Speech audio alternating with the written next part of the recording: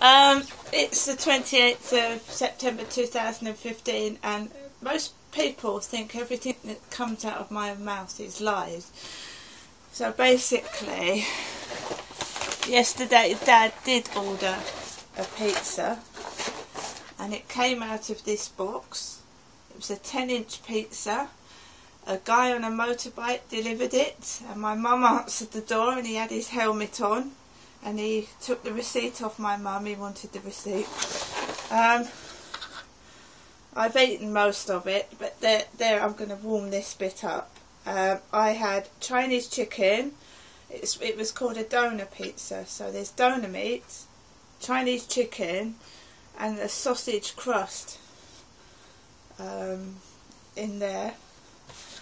And the toffee, the toffee cake was this. I was so full up I couldn't eat it, so I'm going to eat that later on.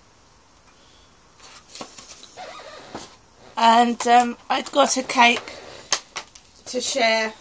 Um, I got a caterpillar, caterpillar cake, and all I managed to eat last night was a caterpillar's head. Um, there was plenty of food. I just couldn't eat it all.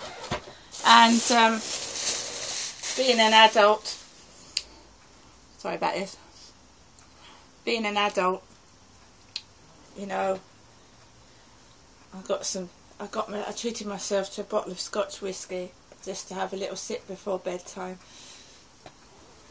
Because when you get to my age, you can't sleep with all the worry and noise and stress of everyday life. Um,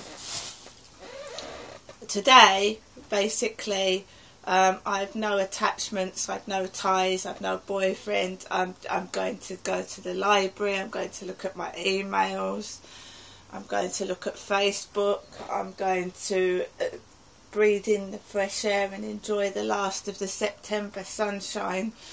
Um, uh, when you suffer from depression, like myself, uh, people's cruel comments make, puts you down. Yesterday I could have just obviously felt so horrible that I not wanted to get up this morning, not wanted to go out. Um, um, I was married for 18 years. In those 18 years, my husband bought me flowers. My husband bought me gifts. When you find yourself divorced and single, first of all, the first couple of years with having nothing, um, I was homeless. Um, it was hard, but you get used to being on your own.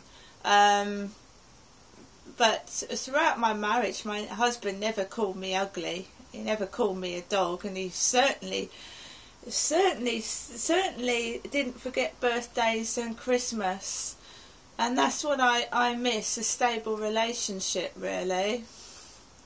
It's very difficult um, to find a gentleman that actually treats a woman like a woman and not a sex object or a porn star. Like rip your legs open get it over and done with. Bye I'm going off to my mates.